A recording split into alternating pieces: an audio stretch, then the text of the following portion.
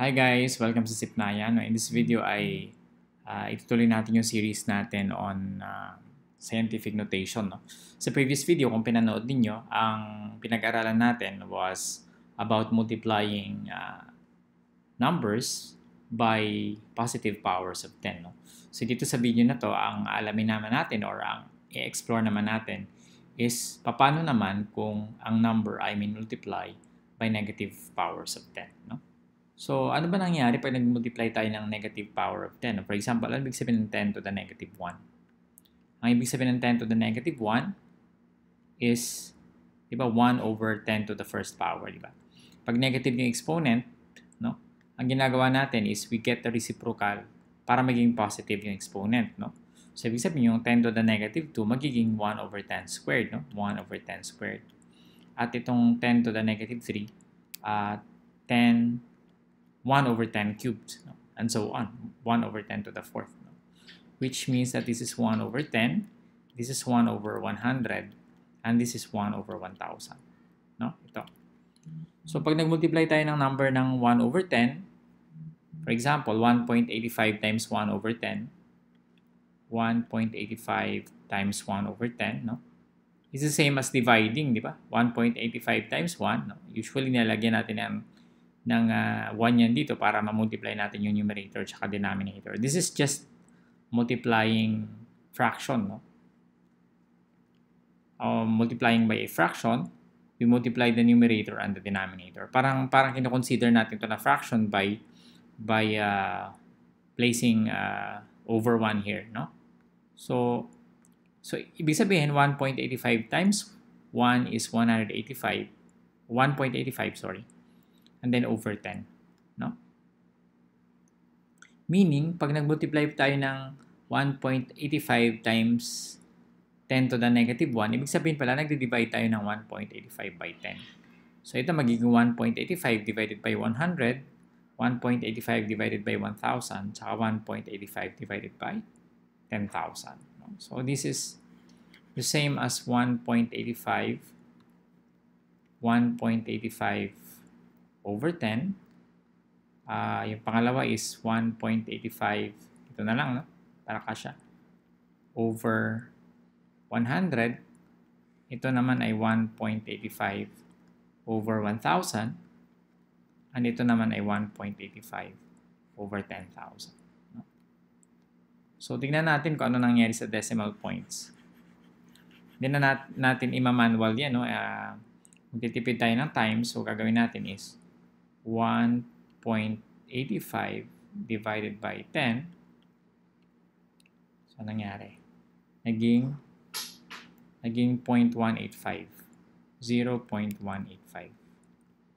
Tapos ito, naging uh, 1.85 divided by 100 0.0185 no? nagiging uh, 0.0185. So, yung usually, uh, by convention, nilalagyan natin ng 0 dito sa left ng decimal point. No? And yung susunod is 1.85 divided by 1,000. 1.85 divided by 1,000. So, nagiging 0. dalawang 0, no? 185 dalawang zeros, sorry. And then, yung 10,000, I think, mahuhulaan nyo na na tatlong zeros dapat siya. 185. So, notice ko ano nangyayari pag nag-multiply tayo ng negative 1, di ba?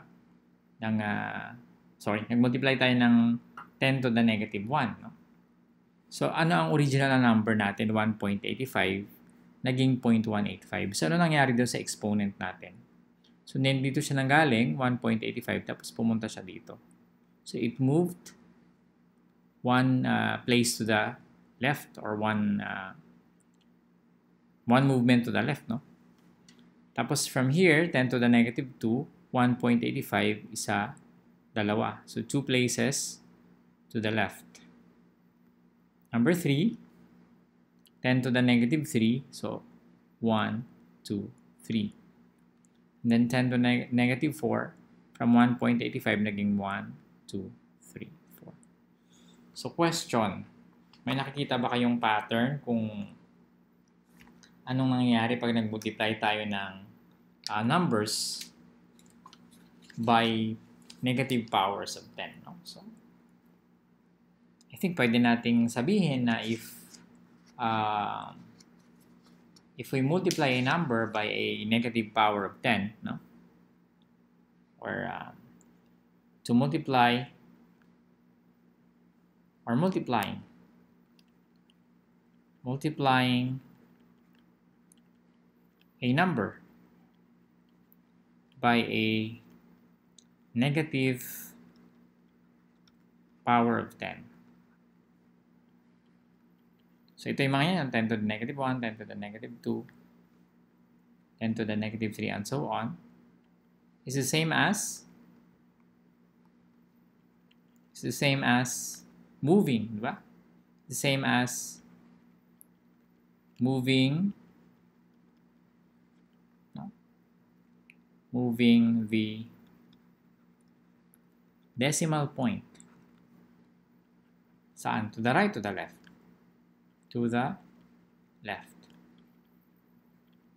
Okay? So, yung pag positive powers of 10, kung pinanood nyo yung previous video, it's a movement of decimal point to the right. Ito naman, if a negative power of 10 to the left now. So, the number of places, the number of places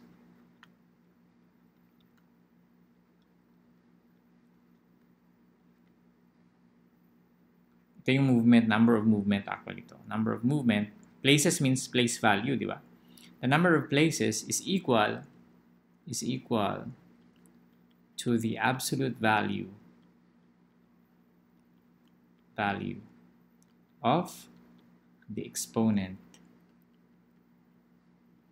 of 10. Ano ibig sabihin ng absolute value? Kasi ang kung, kung mapapansin niyo pag 1 yung dito, meron tayong 1 movement to the left. Pag 2 yung dito, uh, actually may negative siya pareho, di ba? Negative 1 So, one movement to the left, negative 2. Two movements to the left. Uh, negative 3, yung power, uh, negative, uh, or 3 movements, 3 places to the left, and so on. So, yung, yung move, number of movements or number of places, actually, the same siya ng number na walang negative. Diba yung absolute value, tinatanggal niya yung negative. So, it means that uh, kung ano yung number dito, disregarding the negative, ibig sabihin yung positive siya, yun ang number of places or number of movements doon sa, may yata ito, papunta sa left, no? Okay, so, yun. Uh, pag positive power of 10 to the right, no? pag negative power of 10 to the left. Pag tayo nag-multiply, no? Okay, so, I think handang-handa na kayo sa susunod na lesson natin, uh, which is uh, writing numbers in uh, scientific notation. No? So, so kung invite sa zip9.com yung ating website at sa ating YouTube channel, subscribe kayo, no? And of course, sa ating Facebook page, facebook.com slash zip9ph. Maraming salamat. I'll see you in the next tutorial.